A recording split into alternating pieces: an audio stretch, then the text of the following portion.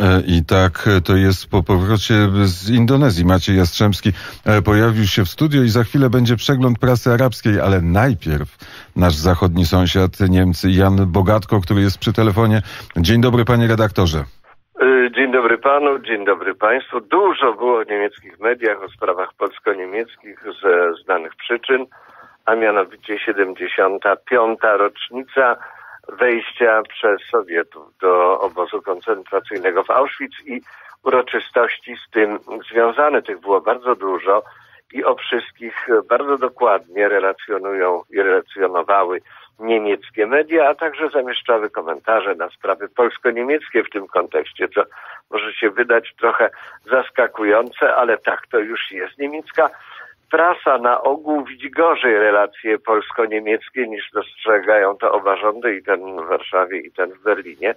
E, na co dowodem chociażby jest komentarz Daniela Brösslera e, w Süddeutsche Zeitung, to jest monachijski lewicowy dziennik, gdzież mówiłem sto razy i powtórzę, w Niemczech nie ma innych dzienników niż tylko lewicowe, nie ma innej demokracji od liberalnej demokracji.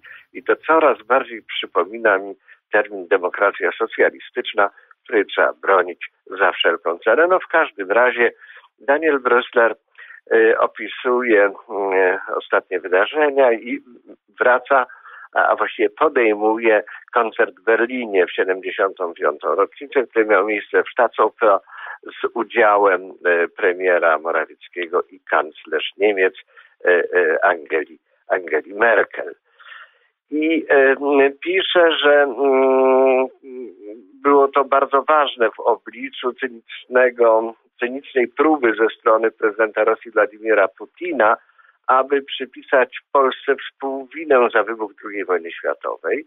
I z tego powodu strona niemiecka nie może tutaj pozwolić sobie na jakiekolwiek dwuznaczności. To jest bardzo ważne stwierdzenie.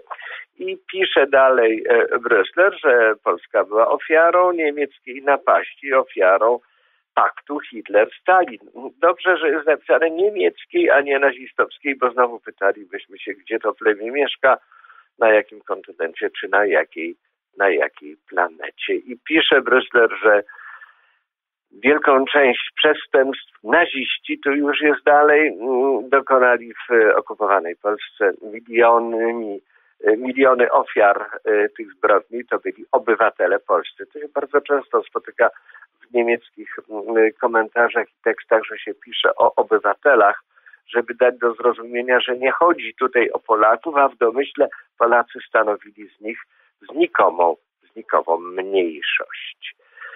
Y, ponieważ y, Dressler opisuje mm, tutaj to, co się mm, wydarzyło w operze mm, państwowej w Berlinie i o czym mówiono, to oczywiście y, zarzucił, zarzucił Morawieckiemu, że on dokonał rzeczy strasznej w tym całym bardzo ważnym momencie, a mianowicie postulując czczenie, upamiętnienie Holokaustu i Gulagu i mówiąc o tym Gulagu i Holokauście w jednym zdaniu zasłużył oczywiście sobie na łatkę. To niewypowiedziane słowo w tym komentarzu rewizjonisty. Y, I dalej Brösler pisze, że w ten sposób y, postawiono by w stan wątpliwości wyjątkowość zbrodni ludobójstwa na niemieckich Żydach. No ona była dla Niemców oczywiście wyjątkowa, dla Polaków nie, bo Polacy mieli więcej zbrodniarzy wokół siebie, ich zbrodnie były e, bardzo, bardzo dotkliwe. No może e, warto w tym kontekście przypomnieć również wywiad, jaki z Jarosławem Kaczyńskim, prezesem PiSu, zamieścił dziennik Bild. Oczywiście zawsze trzeba na Bild patrzeć przez pewien pryzmat. To jest jednak tabloid, który ma bardzo różną opinię i oczywiście i tam zawiodła ręka czy oko y, sprawdzającego korektora, ponieważ wpisał w usta Jarosława Kaczyńskiego rzecz, której on powiedzieć nie mógł, a mianowicie, że sowieccy żołnierze i kaci NKWD mordowali w Katyniu w 1940 roku i gdzie indziej setki tysięcy polskich oficerów, oczywiście setki tysięcy Polaków polska armia nie miała setek tysięcy oficerów przecież, ale to tylko świadczy o tym, jak to się po niemiecku mówiąc szlampik dzisiaj odbywa redagowanie różnych tekstów, które mają bardzo, bardzo ważne znaczenie. No ale wracam do Bresslera, ponieważ on sobie powiedział tutaj o Holokauście i Gułagu jednym zdaniem,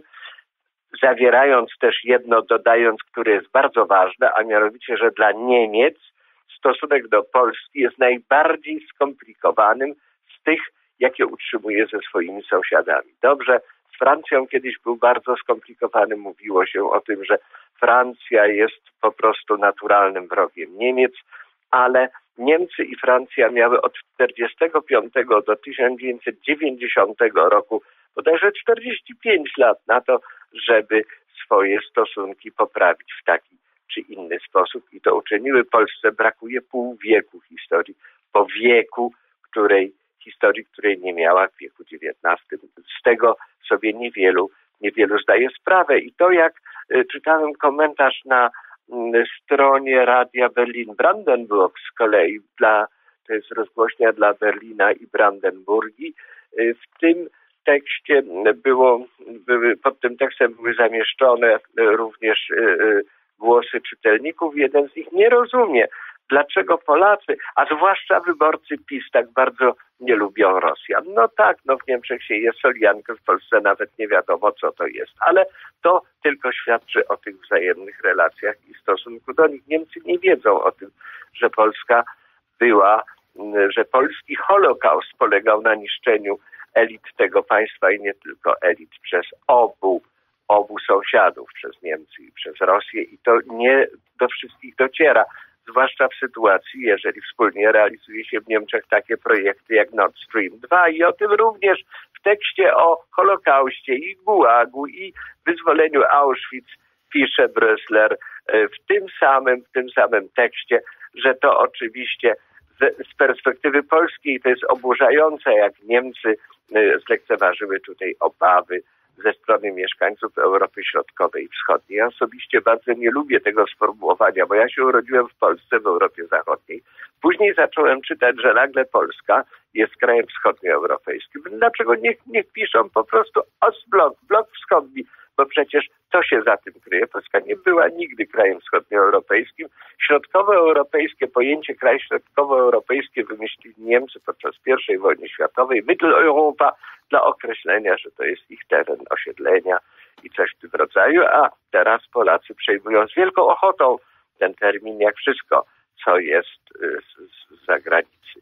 No w każdym razie Mm, pisze o tym, że to jest oczywiście oburzające z punktu widzenia Polski, ale z punktu widzenia Niemiec i Europy to oczywiście e, Nord Stream 2 jest bardzo, bardzo ważnym, bardzo ważnym e, krokiem. Tak samo jak bardzo ważnym są cele polityki niemieckiej i one uderzają w Polsce na sprzeciw. Na przykład, na przykład e, kryzys uchodźczy z 2015 roku. No, dobrze, no można to zdefiniować jako kryzys, ale nie uchodźczy, tylko niemiecki w związku z uchodźcami, no bo przecież ci uchodźcy byli zaproszeni do Niemiec. No i dalej piszemy, że y, Polska postrzega się jako obrońcę y, y, tej cywilizacji europejskiej, a natomiast Niemcy są obrońcami liberalnej demokracji, którą polski rząd, a właściwie rządzący w Polsce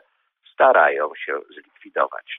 No więc to w zasadzie można byłoby na tym zdaniu skończyć to, o czym y, można było przeczytać w niemieckich mediach w ostatnich pięciu dniach. Bardzo serdecznie panie redaktorze e, dziękuję. Na zegarze godzina 9.13 Jan Bogatko w Zgorzelcu, a w studio Maciej Jastrzębski.